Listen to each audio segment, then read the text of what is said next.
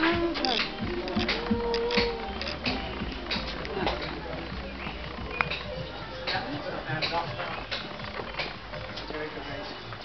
okay, I think I've got it.